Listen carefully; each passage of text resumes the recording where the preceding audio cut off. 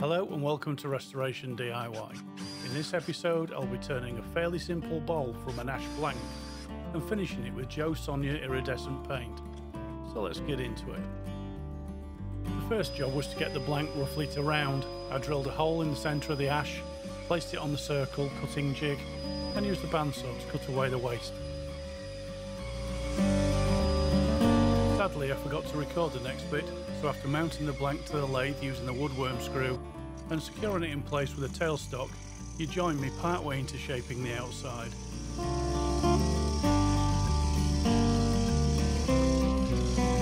I started roughing the shape out with a combination of the half and the 3 eighths of an inch bowl gouges, but my half inch gouge needs a bit of work. I would like to get it to a more swept back profile, so for now the 3 eighths gouge did most of the work.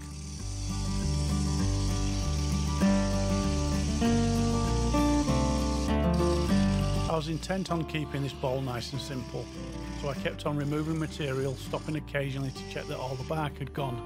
This meant taking off more than I would have preferred, but the bowl would still be a good size at the end of it.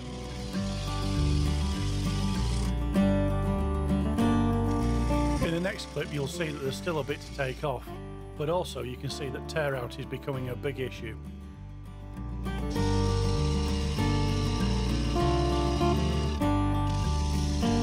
Going, slowly shear scraping material away. For reference, the lathe at around 1000 RPM. Looking back, I think increasing the speed might have helped with the tear out, but at the time I wanted to get to the point where the bark was more or less gone, then use the negative rake scraper to rectify the problem. The negative rake scraper took away most of the tear out, but I wasn't happy with the size and proportions of the ball so I set to with a gouge reshaping the outer surface, finishing off with a skew chisel blending and fairing the curves until I was satisfied with the look.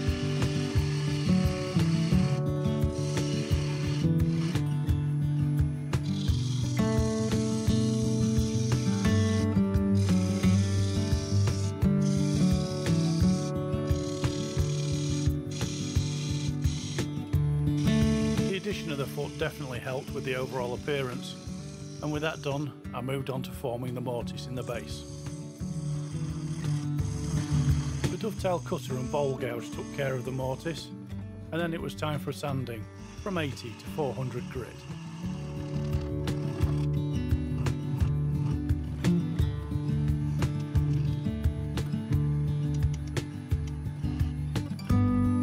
Sanding complete, I applied two good coats of sanding sealer and then denibbed with a non-abrasive scotch pad. It's important to get plenty of sealer onto the bare wood to prevent the finish in the next stage bleeding through to the finished inside surface. You can see that there is still some tear out, but I wasn't too worried about that because I had a plan of how I would deal with it later on.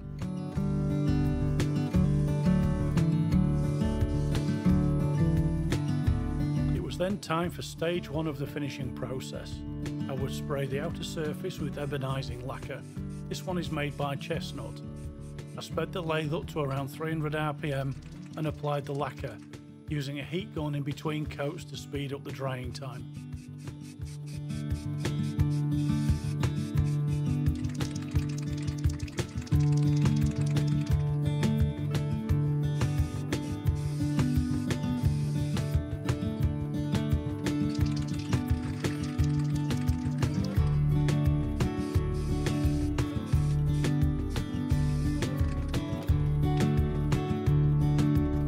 Gave the lacquer time to dry, then it was time for stage two in the process. Jo Sonja Iridescent Acrylic Paint. A quick disclaimer, this is the first time I've used this paint, so after pouring a small amount of turquoise, red, blue and gold out onto a plastic lid, I mixed in about 40% flow medium and began applying it to the bowl. It wasn't necessary to use a brush to apply the paint, the wooden mixing sticks were more than adequate. It was just a case of loading the surface with enough paint for what was going to happen next.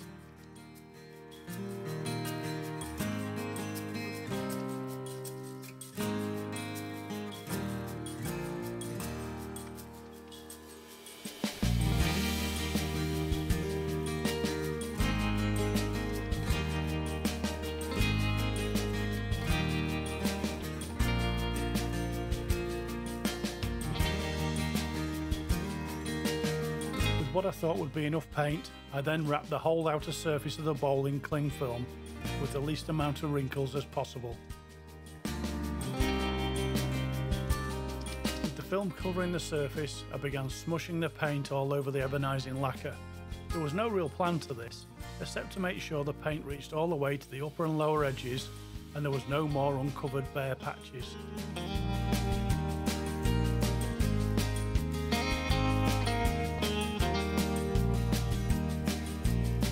When I removed the cling film it was obvious there was too much paint on the surface, so I set to with the kitchen roll patting the paint away, being careful not to mix the colours together any more than they already were.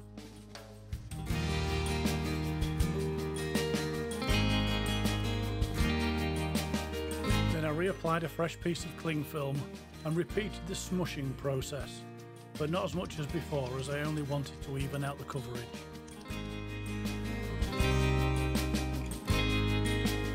Cling film removed, I still wasn't sure if it would dry without the light patches, but eager to see the results, I used the heat gun on its lowest setting to dry the paint.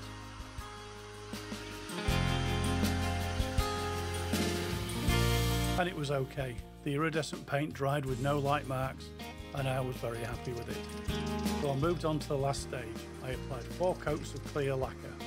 I chose to protect the surface with chestnut melamine gloss lacquer because it was on my shelf and all I had.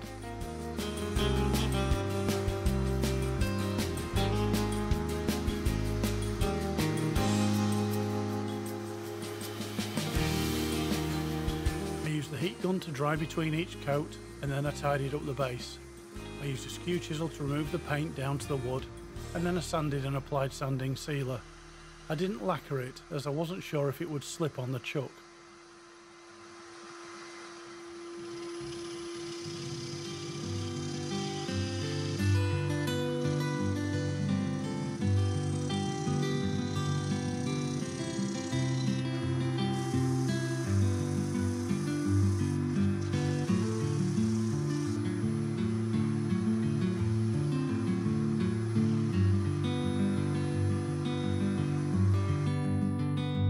So with the outside finished and the lacquer dry enough to handle, I turned the bowl around, mounted it on the four-jaw chuck in the mortise and secured it in place with a tailstock.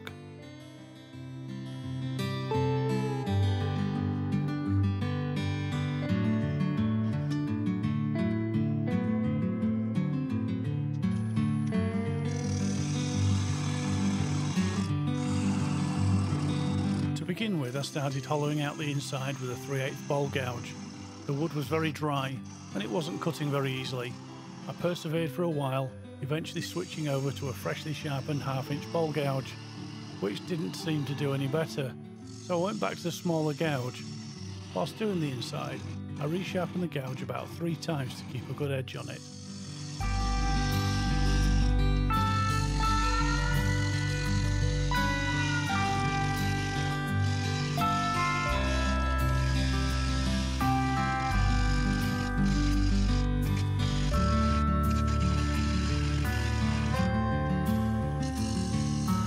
Gouge I was able to quickly remove material and the tear out I suffered on the outside was not nearly as bad on the inside.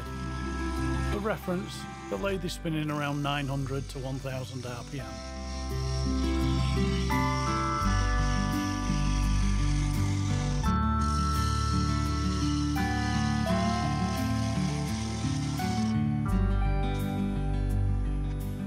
Bulk of the material removed, I whittled a piece in the middle down to a point where I could just remove the tailstock and snap it off.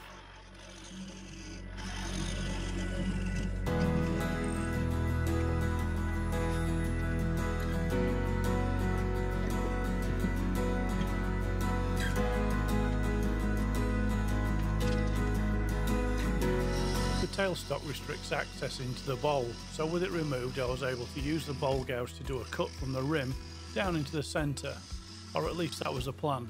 A few times I lost the cut line and I had to pick it up again, but eventually I got a few good continuous runs.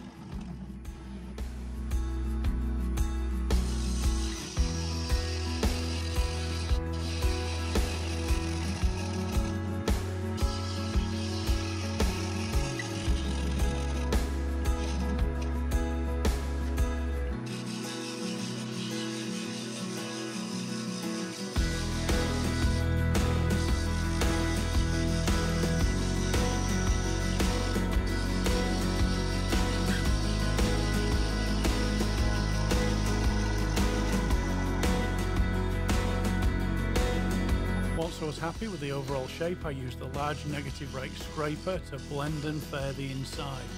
And with some final tidying up on the rim with a skew chisel, it was ready for sanding from 80 to 400 grit.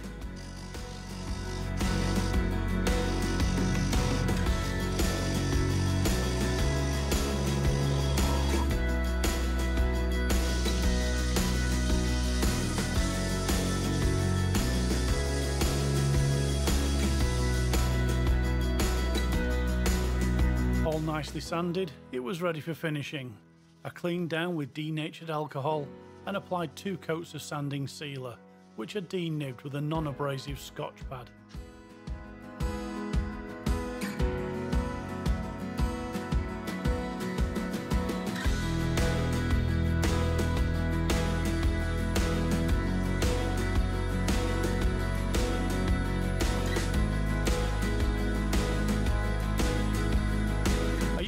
Gun to thoroughly dry the sealer and then I applied around four more coats of chestnut melamine gloss lacquer.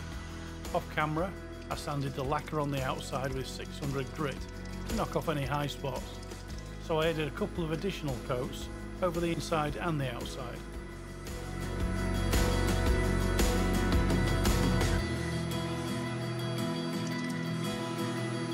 Between each coat, I use the heat gun to speed up the drying process this works very well, and despite the amount of sawdust in close proximity to the bowl, I didn't get any in the wet lacquer.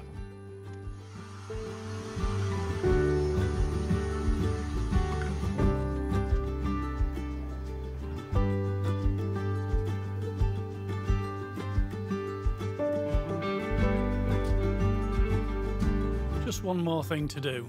The remaining tear out on the outside surface was still visible close up, so I thought it would be a good opportunity to basically enhance it with gold gilt cream. It's what I intended to do right from when I first saw it. The gilt cream is very easy to apply. Just rub it onto the surface and polish it off.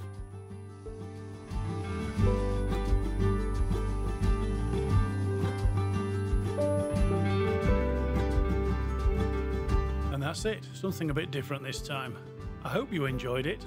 I have some more projects coming up using similar finishes, so keep a lookout for those in the future. And don't forget to press the bell to be alerted whenever I publish a new video. Also, if you would give me a thumbs up, subscribe, and comments are always welcome. Many thanks for watching. I'll see you in the next one. Goodbye for now.